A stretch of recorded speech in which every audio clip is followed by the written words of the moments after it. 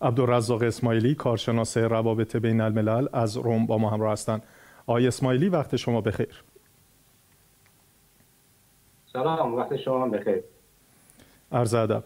جناب آقای اسماعیلی لطفا نظر خودتون رو در رابطه با گزارش با دفتر هیئت معاونت ملل سازمان ملل متحد در افغانستان یوناما بیان بفرمایید. خدمت شما عرض شود که اگرچند گزارش سازمان ملل متحد که در این اواخر نشر شد توسط های سند اوغلو نماینده خاص ملل متحد خیلی بهتر و تقریبا جامعتر بود از گزارشات قبلی که توسط خانم بوتان بایو که نماینده خاص سازمان ملل متحد یا رئیس یونما در افغانستان هستند. خب دلایلش هم شاید این بوده باشند که آقای سینی روغلو در افغانستان اقامت ندارند و توانستن مقدار گزارش جامعتر در سازمان ملل ارائه بکنند اما آنطوری که باید و شاید جامعتر می بود نبود. تاسفانه خیلی نواقص زیادی داشتن که در قسمت سیاسی افغانستان و کارشناسان مسائل سیاسی افغانستان و اپوزیسیون طالبان در این قسم واکنش های خاصی را خود داشتند چرا که اونها از نقد حقوق بشر گسترده ای که در افغانستان صورت می‌گیرند تنها چند مورد را نوت کرده بودند که کامل و دقیق نبود. اتفاقا اون چیزی را که گزارشگر سازمان ملل متحد در گزارش خود آورده بودن شاید میشه گفت که بین 60 تا 70 درصدش هم کمتر بود. یعنی بیشتر از اون چیزی است که در افغانستان اتفاق میفته و از آن جایی که متاسفانه در افغانستان تمام رسانه ها و گزارش ها سانسور میشن توسط طالبان و کسی نمی‌توانند آن جنایات را که طالبان روزمره مرتکب میشن و در نشر بسپارند و مردم را آگاه بسازن بسیار کم است و محدود است. از این لحاظ بازم ما می‌تونیم یک مقدار روی این موضوع گزارشگر سازمان ملل گزارش را نشر کردن. توجه بکنیم که خب یک مقدار قابل توجه بود. بله متاسفانه در افغانستان بعد از اینکه طالبان دوباره به قدرت رسیدن نقد گسترده حقوق بشر در تمام زمینه ها مشهود و بیداد می‌کنند. از جمله اختطاف کشتن و زندانی کردن کارمندان پیشین دولت افغانستان مخصوصا نیروهای امنیتی. ترور و از بین بردن افرادهای سرشناس و کسانی که طالبان احساس می‌کنن که اینا می‌تونن برای ازنا در سر باشن یا خطر ایجاد بکنن.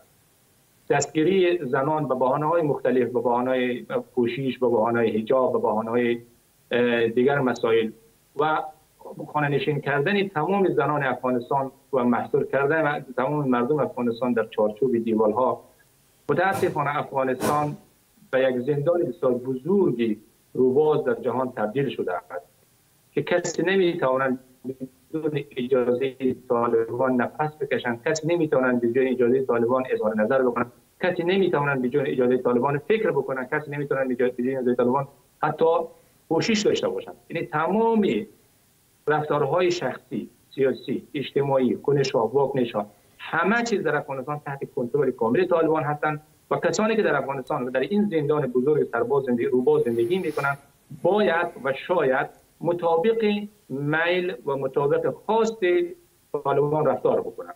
در غیر آن همه محکوم به شکست هستند همه محکوم به مرگ هستند و همه محکوم به زندانی شدن هستند. جناب آقای اسماعیلی دلیل کشتار هدفمند هزارها و شیعیان و همچنین روحانیون شیعه پس از روی کار آمدن طالبان چیه؟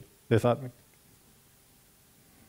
خب دلایل کشتار شیعه در افغانستان این تازگی ندارن که در دوران اخیر اتفاق افتاده باشند بعد از اون کار آمدن طالبان.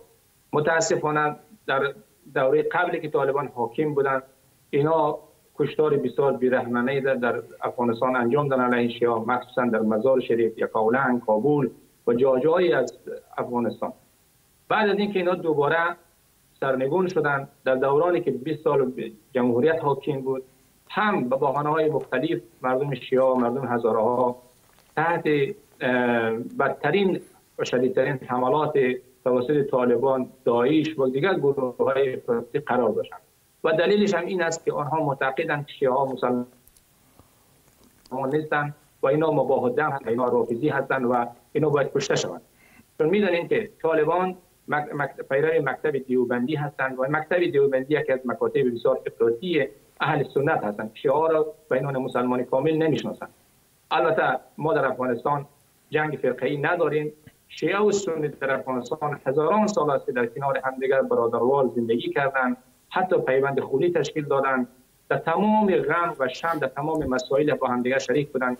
آنها پیرو مکتب حنفی هستند. مکتب حنفی و مکتب جعفری در کنار هم مثل دو تا برادر و مثل دوست سالهای سال زندگی کردند اما متاسفانه از روزی که طالبان به قدرت رسیدند گروه های افراطی جریحتر شدند چون آنها دستشان بیشتر باز شدند و می‌تونن بسیار براحتی بکشن و بیروند و کسی هم تعقیب از آنها سوال نمی‌کنن.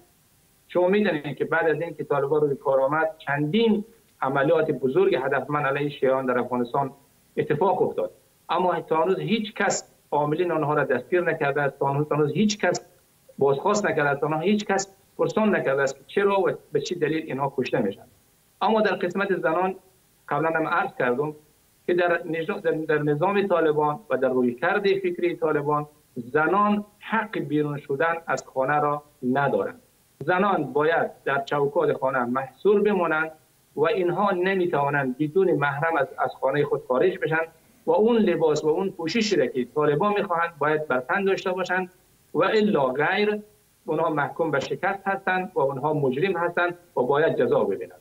اما در قسمت کشته شدن علمای شیعه باید عرض کنم خدمتتان که از آن جایی که علما همیشه در طول تاریخ افغانستان اینا بینوان رهبر پیشرو یا بینوان روشنگران مردم و جامعه افغانستان بودند و خب مردم شیعه هم با اونا به علما احترام زیاد قائل هستند به عنوان پیشنواز به عنوان رهبر و به عنوان پیشرو از این رو اینها می‌خواهند که علما را از بین ببرند تا این مردم دیگر سری نداشته باشند دیگر این مردم پیشروی نداشته باشند دیگر این مردم راهبری نداشته باشند دیگر این مردم در جهالت باقی بمانند تا بتونن اینها این مردم اغفال بکنن. چون اینها بارها اعلان کردن که شیعه باید مسلمان بشن. یعنی به نظر ما شیعه مسلمان نیستن. یعنی که بیان پیروی اهل سنت بشن. مذهبشون تغییر بدن بیاین به اهل سنت. اینا فکر می‌کنن که اگر شیعه علمای شیعه از بین ببرن اینها دیگر راهگم میشن مجبور میشن که مذهبشون رو تغییر بدن بیان حنفی بشن یا بیان سنی بشن. که خب من گفتم که در افغانستان فقه جعفری و فقه حنفی سالهای سال در کنار همدیگر زندگی کردن حتی پیوند خونی تشکیل دادن. اما این طالبان و این تکفیری ها هستند که امروز شیعان را به عنوان یک مسلمان نمی‌شناسند و اینها هر روز دست به کشتار بیرحمانه علیه این مردم می‌زنند. جناب آقای اسماعیلی خیلی کوتاه بفرمایید. راهکارهای از جمله تظاهرات های سراسری در تمام شهرهای جهان و همچنین نشست کنگره ملی هزاره با نمایندگان پارلمان بریتانیا چه تاثیر مثبتی داره؟ و علاوه بر آن چه اقدام های دیگری ضروریه؟ خیلی کوتاه بفرمایید. ببینید همونطور که در تاریخ ثابت کرده است مبارزات مدنی در هندوستان در آفریقای جنوبی ما هم فعلا چاره ای نداریم به جز همین گرده ها به جز همین تظاهرات. صدایمان رو به گوشی کاری جهانیان برسانیم که همین جهانیانی که امروز طالبان رو بر مردم افغانستان مسلط ساختن.